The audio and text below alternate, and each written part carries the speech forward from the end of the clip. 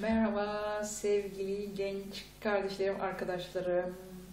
Evet, bugün özellikle liseli, üniversite sınavına hazırlanan genç kardeşlerime yönelik konuşmak istiyorum. Gerçi içerik herkese uygulanabilir ama e, özellikle sınava hazırlananların sıkıntılarını bildiğim için size yönelik kısacık bir video yapmak istedim. Nasıl oluştu bu fikir? Bu fikir abileriniz, ablalarınız size yol göstermek için, işte yardımcı olmak için videolar yapıyorlar, YouTube'a yüklüyorlar. Siz de bunları okuyor, altına yorumlar yapıyorsunuz, sorular soruyorsunuz. Ben bunları okuyorum, keyifle okuyorum. E, niye keyifleniyorum bilmiyorum. Herhalde beni gençliğe, gençliğime götürüyorsunuz, gençliğimi hatırlatıyorsunuz bana. He, mikrofonu unutmuşum bu arada. Neyse, şimdi e, tekrar çekmemiz gerekmesin. Beni anladığınızı umuyorum. Bazen de evet sadece keyiflenmiyorum tabii bazen de hayıflanıyorum. Çünkü biliyorum sıkıntılı bir zaman. Ee, Biz de o cendereden geçtik. Hmm, kolay değil. Niye, neden, nasıl e, sorularını biz de sorduk. Dediğim gibi bu videolar altında yaptığınız yorumlar, sorular birbirinin tekrarı diyebiliriz. Ben tüm sorulara değil sadece bir soruya bugün değinmek istiyorum.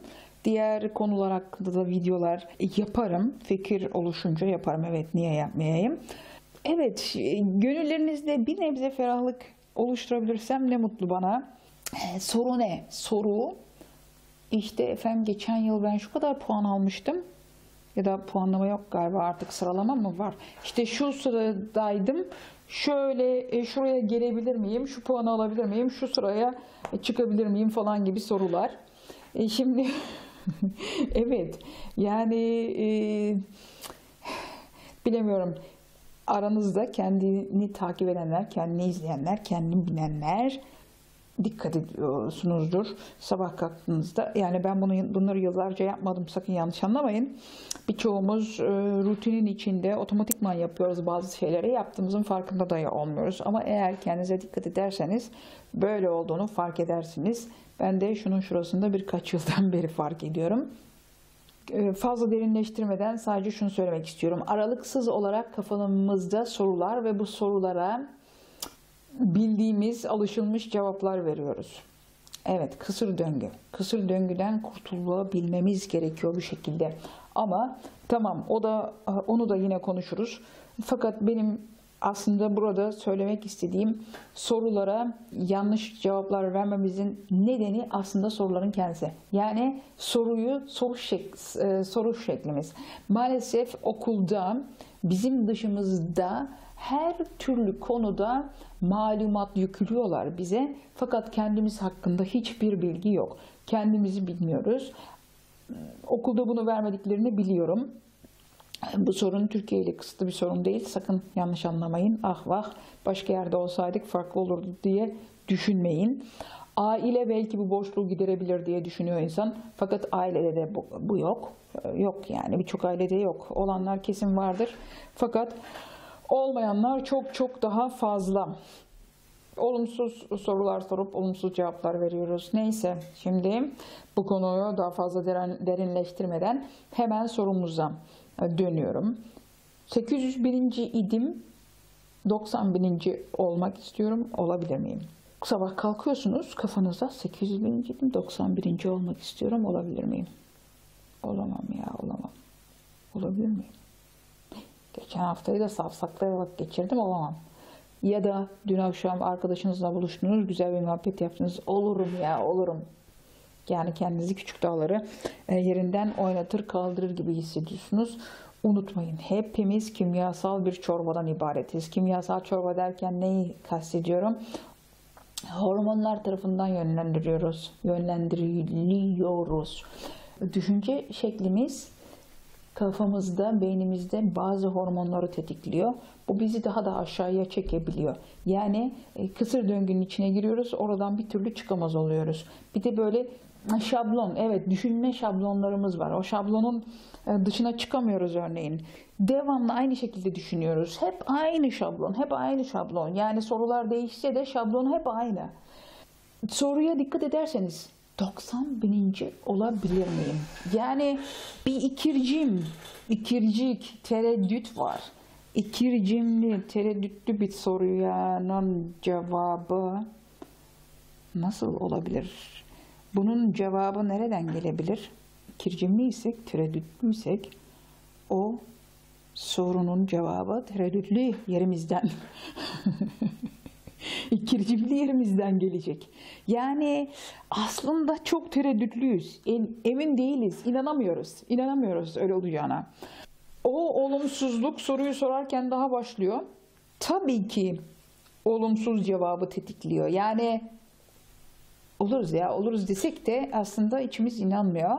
Birisi sırtımıza vurup olursun ya niye olmayacaksın ya otur çalışırsın olursun ya falan diyen de bizi pek ikna edemiyor doğrusu. Yani evet bu soruları sorarak neyi amaçlıyoruz genç kardeşlerim? Laf olsun torba da.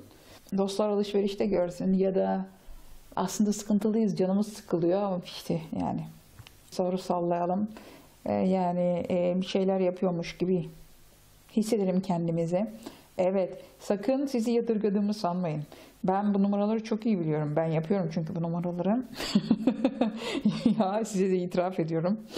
Şimdi karşılıklı yetişkin insanlar olarak konuşuyoruz. Dürüstçe konuşuyoruz. Neyse koyuz. Yani niye saklayalım? Niye saklayalım? Yani saklayarak nereye varabiliriz? Nereye götürür ki bizi? O yüzden ilk işimiz kendimizce dürüstçe bakmak. Sonra soru sorma biçimimizi düşünmek, takip etmek. Nasıl sorular soruyoruz? Evet, şimdi bu soruyu 800 bininci oldum. 8 bininci oldum. Şunları şunları yaptım 800 bininci oldum. 91. olmak istiyorum. 90 bininci nasıl olurum? 90 bininci olmak için ne yapmam gerekiyor? Evet, işte böyle sorduğunuzda soruyu cevap farklı yerden farklı şekilde geliyor ve olumlu geliyor sevgili arkadaşlarım, kardeşlerim. Farkı görüyorsunuz, anlıyorsunuz diye düşünüyorum. Evet, soruların cevapları sizin ikinizde. Bu soruların cevaplarını size hiç kimse veremez. O yüzden abilerinize, ablalarınıza sormayı bırakın. Kendinize sorun, kendinizi takip edin ve bunu sadece bir örnek olarak, alın sevgili kardeşlerim. Bu e, soru sorma biçimini birçok alanda uygulayabilirsiniz. Eğer sorunuzda daha tereddüt varsa emin olun onun cevabı tereddütlü bir yerden gelecektir. Ama sorunuz eğer samimiyseniz ve gerçekten 91. olmak istiyorsanız ve samimi bir cevap istiyorsanız o zaman o soruyu doğru sorun. Ne yapmam gerekiyor 90 bininci olmak için? Yani kafanızın üstüne düşmediyseniz niye 91. olmayasınız, olamayasınız değil mi? Olursunuz. Ama ne yapmam gerekiyor olmak için? Ne yapmam gerekiyor? Ben onları yapacağım. Ben olmak istiyorum. İşte bu şekilde soruları da değiştirin. Soruların değişmesi cevaplarını da değiştirecek ve samimiyseniz eğer zaten siz bunları uygulayacak ve onu olacaksınız. Hepinize kolay gelsin diyorum sevgili kardeşlerim. Evet selametler ve feyizli öğrenmeler e, temenni ediyorum. Hoşçakalın.